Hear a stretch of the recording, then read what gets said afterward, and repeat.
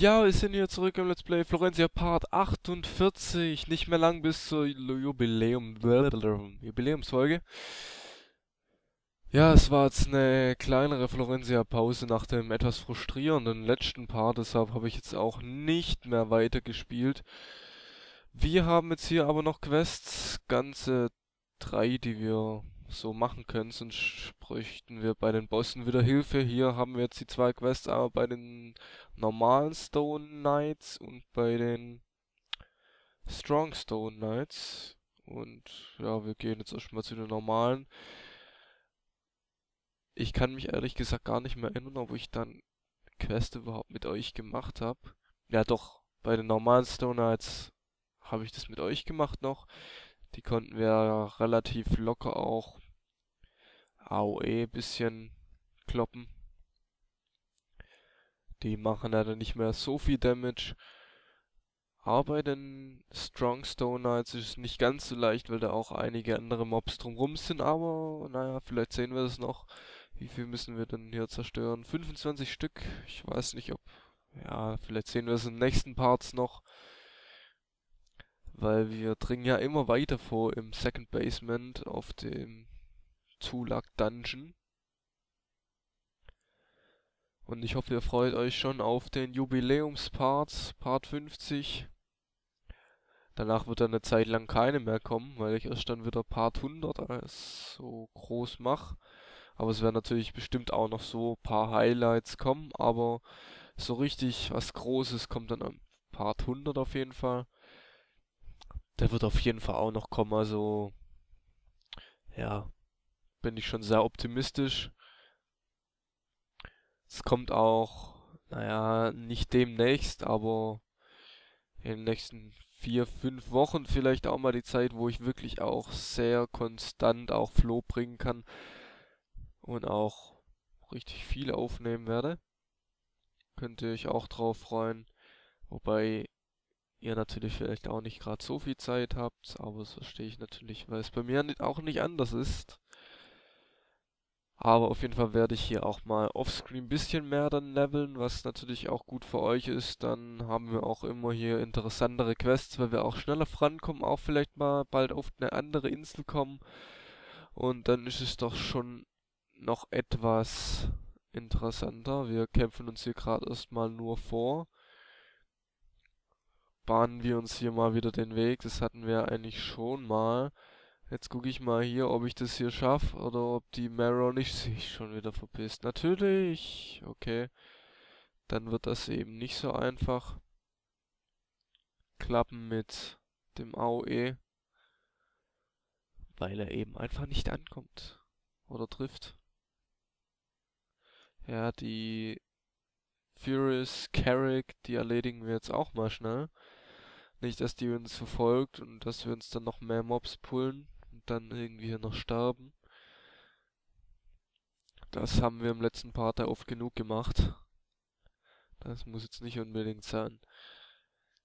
Ja, wir haben ja jetzt wieder unsere guten, was heißt wieder? Wir haben ja jetzt unsere guten Leather Gloves auf der Upgrade Stufe 3 können die schon so einiges Aber jetzt gucken wir mal, wie gut das denn jetzt hier wird. Den einen Quest könnte ich auch mal abgeben, aber ich weiß nicht genau, wann ich da mal die Motivation finde, wieder zurückzuschippern. Aber stimmt eigentlich, oh Mann, ich bin doch eigentlich blöd. Wieso habe ich mir diesen Buff nicht mehr geholt? Ah, Mann. Sollte man mal dran denken. Habe ich jetzt natürlich noch nicht so im Gefühl, beziehungsweise bin ich nicht so dran gewöhnt, dass es das denn gibt. Das, ja, haben wir erst ein oder zweimal geholt. Und weil ich schon vor einer Weile nicht mehr aufgenommen habt, ist das dann natürlich auch ein bisschen ungewohnt wieder. Aber ihr könnt euch freuen, ich habe so viele tolle Sachen noch mit euch vor. Also da wird auch bestimmt... Ah, Powder of Magic äh, Power. Hat's ja geheißen, soll ich behalten und dann vielleicht bei Spielern verkaufen oder auch selber verwenden, weil die brauchen wir, glaube ich, für irgendwelche Waffen später.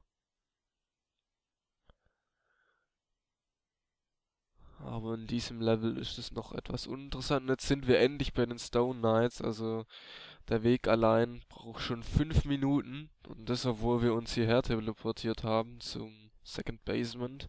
Habe ich ja zum Glück gespeichert und da können wir dann natürlich mit diesem Tutorial Magic Stone of Memory. Ja, okay, muss ja kein Tutorial Stone sein, aber auf jeden Fall Magic Memory Stones, wie auch immer man sie nennen soll. Schon ziemlich nützlich, soll ich vielleicht dann auch kaufen, weil es jetzt da nur noch einer ist, den ich hier habe. Dass ich da nicht ewig latschen muss. Ja, 25 Stück brauchen wir hier. Jetzt will ich eigentlich mal wieder die Miner Pills hier reinziehen, dass ich nicht immer direkt die guten verschwende muss man ja verschwenden nennen, weil es ist ja einfach sinnlos, dass ich die einsetze. Wenn jetzt wieder alle Mobs da sind, dann hau ich die auch gleichzeitig um, aber für die zwei packe ich jetzt kein AOE mehr aus. Vor allem potte ich da nicht für die zwei. Ja, dann kommt für euch endlich mal wieder ein Part Flow. Aber bis jetzt bin ich immer noch relativ gut im Hochladen, würde ich sagen. Habe ja auch FIFA 14 abgeschlossen, aber starte jetzt mehr oder weniger dann trotzdem noch ein fortführendes Let's Play von FIFA, nämlich Ultimate Team habe ich angefangen gehabt und dann pausiert gehabt, aber das ist jetzt wieder sozusagen der Nachfolger von Manager-Modus. Keine Ahnung, ob das hier überhaupt jemand interessiert, aber ja, wenn ich hier gerade nichts zum Sagen habe, dann kann man das ja schon mal einwerfen. Ähm, ja, Mal sehen, was für Mobs sich da hinten noch befinden. Da mussten wir zum Glück noch nicht hin. Was heißt zum Glück? Da werden wahrscheinlich auch in den nächsten Leveln noch paar Quests kommen, wo wir uns da sowieso hinbegeben werden. Deshalb, ja, wir können dann nachher vielleicht auch nochmal gucken, was für Mobs denn da so gibt. Jetzt, genau, jetzt sind doch schon drei Stone Knights. Dann lohnt sich das doch hier auch glatt wieder. Und irgendwie habe ich den einen nicht getroffen, was das Ganze ziemlich blöd macht. Aber trotzdem mache ich dem genug Damage, um den noch einigermaßen down zu kriegen. Und der andere stirbt schon allein von den Verwundungen, was heißt von unseren Spezialattacken, die ja auch auf längere Zeit immer wieder HP des Gegners abziehen, ja. 5%, also wir kriegen nicht mehr so viel Erfahrung außerhalb von den Quests, sowieso auch ohne diesen Buff ist es ziemlich schwierig jetzt Level abzukommen, kann man jetzt nicht sagen, aber ja, es beginnt halt so langsam etwas schwieriger zu werden. Und ja.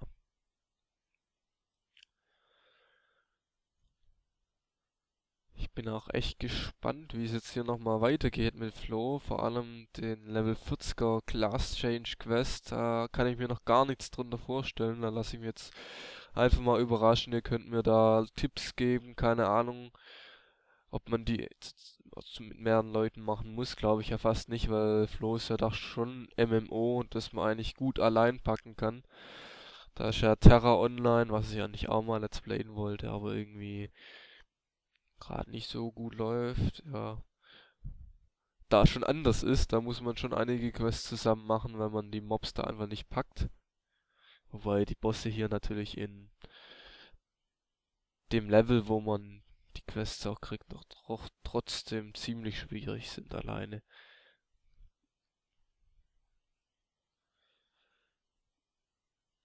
Aber ja, jetzt gucken wir hier, dass wir mal noch die zweite Hälfte schaffen von den Stone Knights. Haben wir so gut wie geschafft mittlerweile. Jetzt hängt gerade wieder, ah okay, nur kurz die Effektdarstellung hier. Hat wieder ein bisschen gebackt. Refine Stones.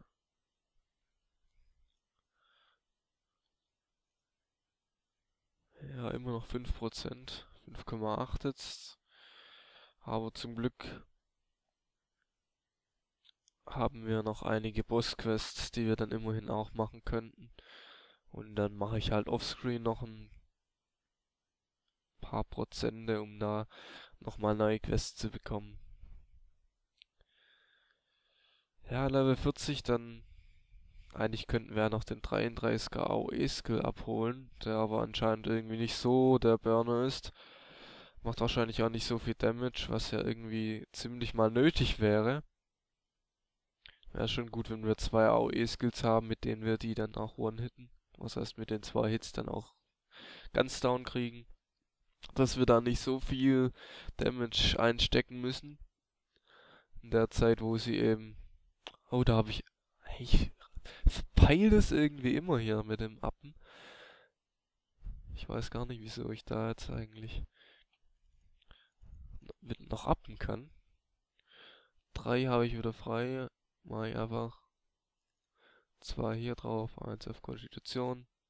Wenn es dann klappt, ja, so passt doch. Ja, dass wir endlich mal die 3000 HP voll haben.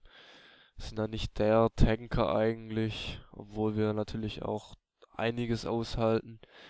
Vor allem können wir uns ja immer wieder heilen, was ziemlich gut ist eigentlich.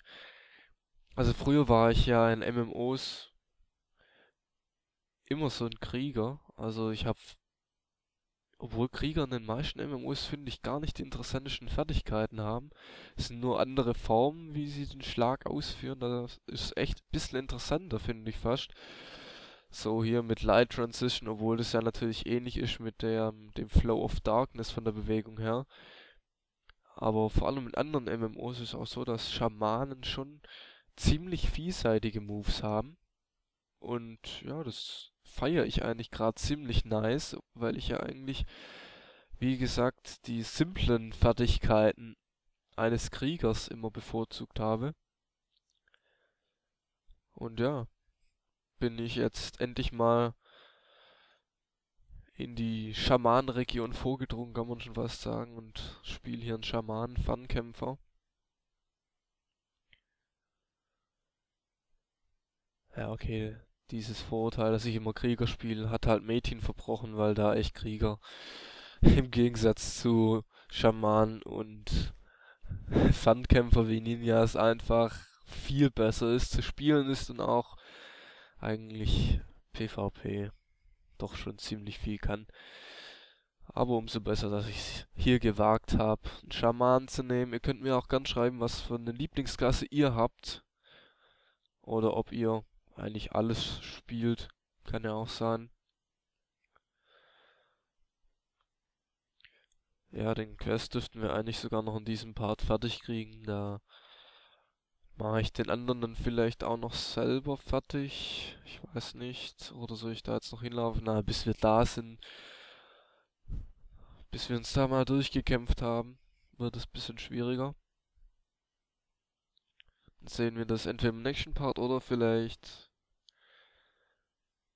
Ja, ich denke, ich mache das dann im nächsten Part. Ich weiß gar nicht. Demnächst wird der Part 50 ja schon kommen. Also da wird jetzt nicht so eine lange Pause kommen, wie es war bei Part 25 so oder war das bei oder war das bei Metin?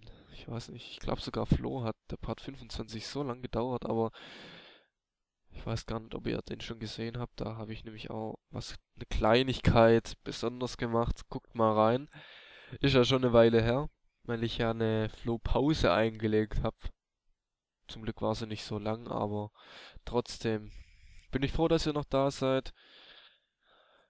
Und ja, jetzt mache ich es gerade irgendwie so, dass ich die immer einzeln kill. Eigentlich warte ich jetzt gerade, bis die alle wieder respawned sind, aber dadurch, dass ich die schon irgendwie immer wieder einzeln kill, sind die schon, die ersten schon wieder tot, bis die anderen respawnen. Ziemlich blöd eigentlich, aber Okay, machen wir es eben so kurz noch fertig. Die drei Stück, die kriegen wir jetzt auch noch so locker hin. Ohne da groß warten zu müssen, bis da alle wieder respawnen.